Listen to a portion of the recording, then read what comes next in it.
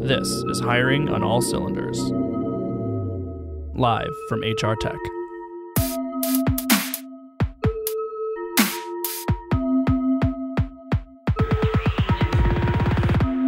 Okay, HR Tech, spectacular news. Hiring on All Cylinders returns to the airwaves from our cozy, cozy booth just outside Starbucks and between registration. And I am very excited for my current guest, Ian Siegel. He is the CEO of ZipRecruiter. Ian, thanks so much for being here. Pleasure to be here. Thanks for having me. How's the show going for you so far?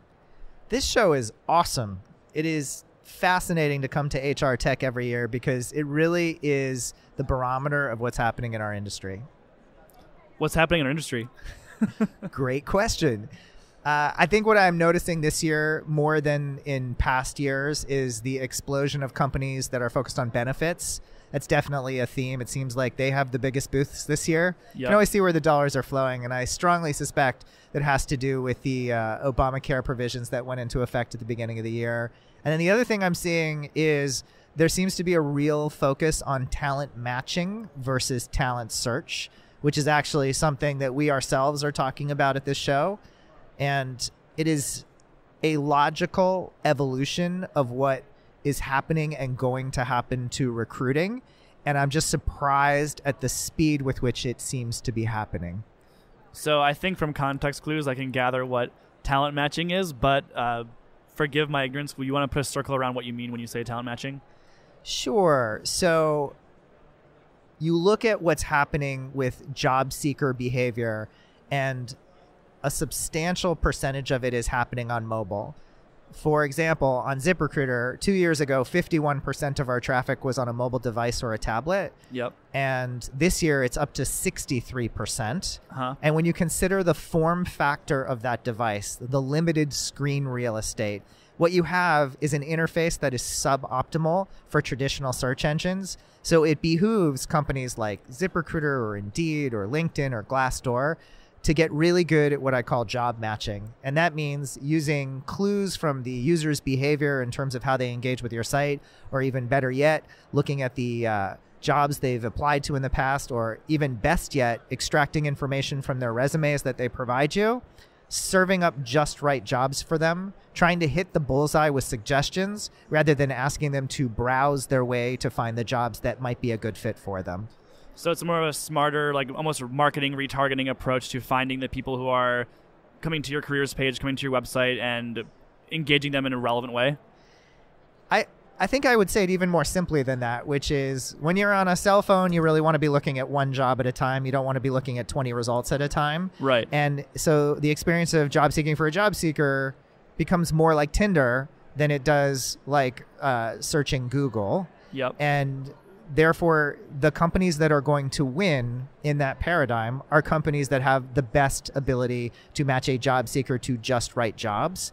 And on the flip side, for employers, this presents a really intriguing opportunity because suddenly you have the opportunity to be presented in front of a job seeker um, where you are the only job they are looking at.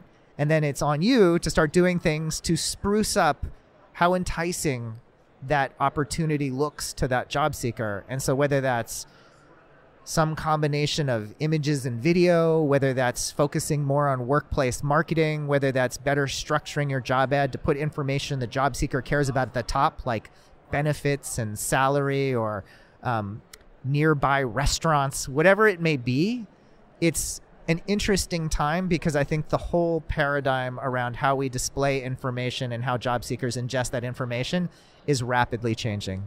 Absolutely. And you were saying this strikes the whole talent matching versus talent searching strikes a chord with something ZipRecruiter is working. Excuse me, ZipRecruiter is working on right now.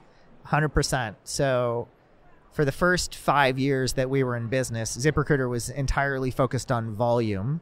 All we were trying to do was send more and more candidates to every job posted on our site.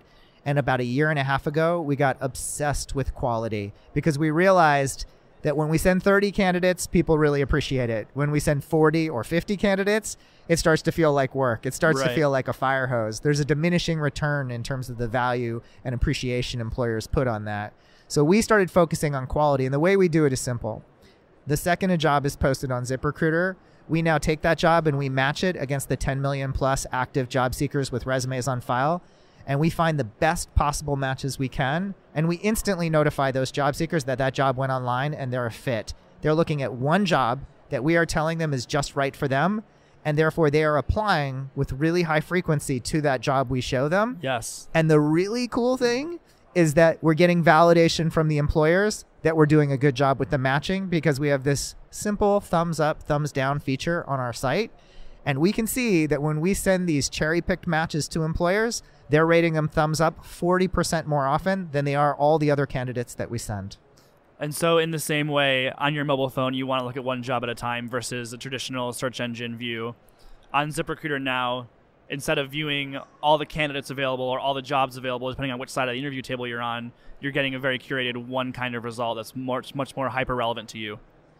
So, job seekers are definitely getting more curated results. We're all about curation, whether it's a daily email where we take hundreds of different job sites and find just the right jobs for a job seeker from all those different sites to send them the 10 best matches for them, or whether it's an even more hyper focused single job at a time that we send them and say, no, this one in particular, you're particularly well suited for. That's the job seeker experience. On the employer side, what they're getting is what I call velocity and quality. Almost immediately after they post a job, they're starting to see candidates come in, and these candidates are closer to the bullseye than any candidates we've ever sent. I love it. Forget volume, get a closer match. Talent matching is the future. Ian, thank you so much for being here. This has been great. Thank you so much for having me.